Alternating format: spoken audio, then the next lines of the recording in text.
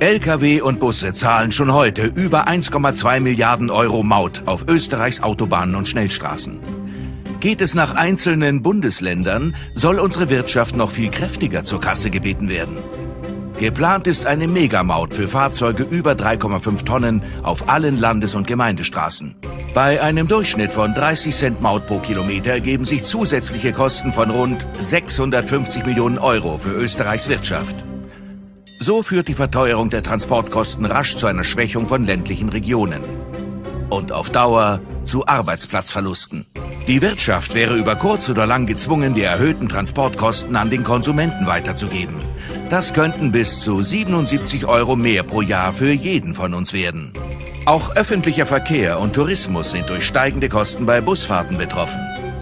Damit nicht genug. Für die Einhebung der Maut ist ein teures Satellitentechnologiesystem notwendig. Ein großer Teil der Einnahmen würde dadurch schnell wieder aufgezehrt. Viel Geld. Wofür eigentlich? Für den Ausbau und den Erhalt der Landes- und Gemeindestraßen ist genügend Geld vorhanden. Nur wird es dafür nicht verwendet. Die neue Megamaut ist vielmehr dazu da, Budgetlöcher zu stopfen. Dafür soll die heimische Wirtschaft herhalten. Und deshalb sagen wir Nein zur Megamaut. Nein zur Megabelastung für Österreichs Wirtschaft. Nein zu Megakostensteigerungen für uns alle. Megamaut? Nein, danke.